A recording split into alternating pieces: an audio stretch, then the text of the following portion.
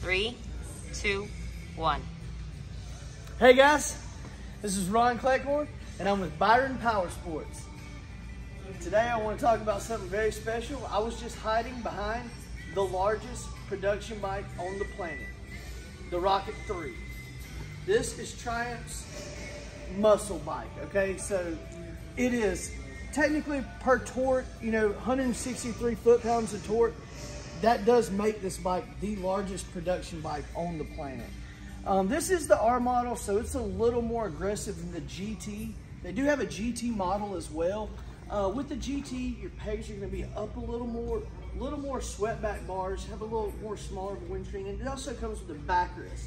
Now this does have back pegs. Uh, as you can see, one of my favorite things about it, check this out. Freaking transformer. Um, but a couple things about this bike. Now I have like got to spend some time, like I've rode this bike quite a bit. Don't let the, the size of this bike fool you. This bike is actually very nimble. And I know you say, yeah, right. It really is. It's very impressive. Like I rode this bike and I was blown away like how easy it did turn, how smooth it was. You can see by the Brembo brakes on it. I mean, the stopping power, the torque. But one thing about this bike is, you know, you do have different modes on it. So you have like a road mode, so it's more like a cruiser. But then if you want to go to like a straight up muscle bike, you put it in sport mode. And yes, then it will freaking dig a hole in the concrete. It'll drag a freaking tractor trailer down the interstate.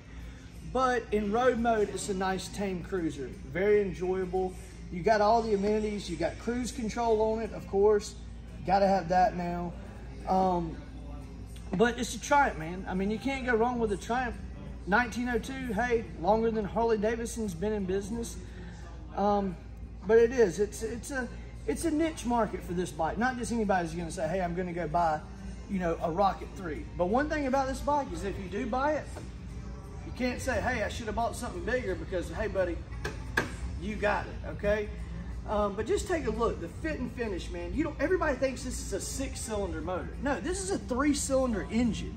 You just don't see anything, man. I'm not seeing any wires on this thing. I'm not, you know, single sided swing arm. Look how clean the back end of this bike is. It's just, it's, it's a work of art, man. Got the raised badge right here, you know. Um, Monza style gas cap. I mean, everything about it. You know, really nice screen on it. Comes with a key fob too. Uh, so this right here just has all the technology and uh, it's just it's just an awesome bike. So uh, thank you for tuning in. Over and out.